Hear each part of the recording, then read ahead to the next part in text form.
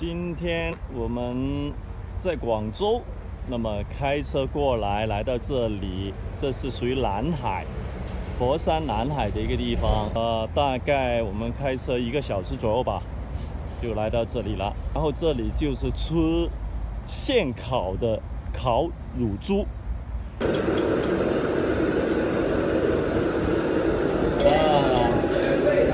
原来那个烤乳猪呢，它先会上了一层油，然后放在这个大的炉里面，先烤稍微干一点，最后才烧。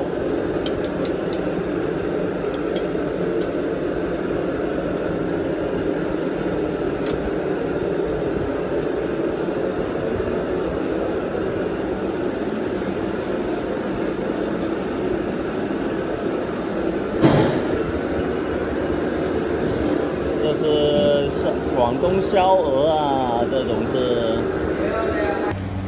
这个就是我们今天来到这里吃的烧烤乳猪，它就是选用一个很小的，直接你点了之后，它才开始烧，这好像是三百三百六十八一只，这个烤的这个。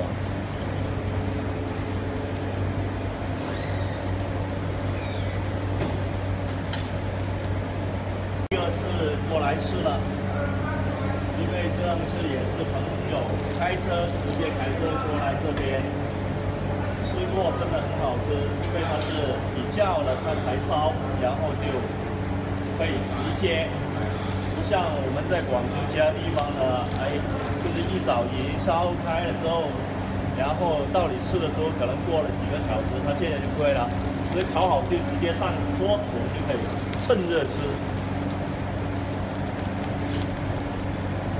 在烤的时候，不断的在扎一些，在皮上扎一些洞了，就为了它能够这个皮跟肉不要分离，这是一个秘诀，应该要知道制作的时候。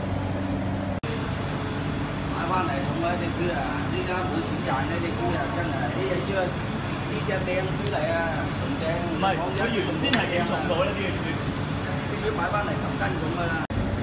这个猪呢，它整只的时候呢是大概十斤重，也就等于是五公斤，所以烧起来，反而是不要太大，太大的话，反而那个肉啊厚太厚的话，反而烧起来不会脆。好，乳猪还没烤好之前，我们先试试这些菜心，这是番薯番薯叶。终于弄明白这个菜叫做“吃菜心”，就是在广东增城才有的出的。好，我们终于上了。哇，这个就是刚才烤的乳猪，已经烤好了。嗯。哇，够生正啊！红皮赤肉。哇，你看颜色，颜色。哦。啊，咁啊，知道读书啦吓，咁就。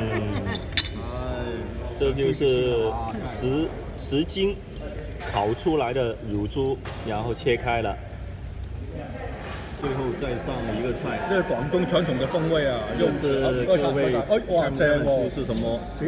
这是我们平常八八中秋节吃的那个柚子，那个皮剥出来之后可以做菜的。这次这个烤乳猪比我上次来吃会更好吃。那你各位看看这个乳猪。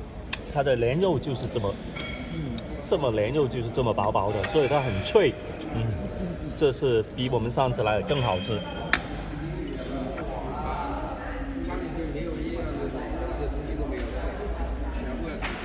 各位知不知道这些是什么？各位可以猜一猜这三个东西是什么来的？猜中有奖励。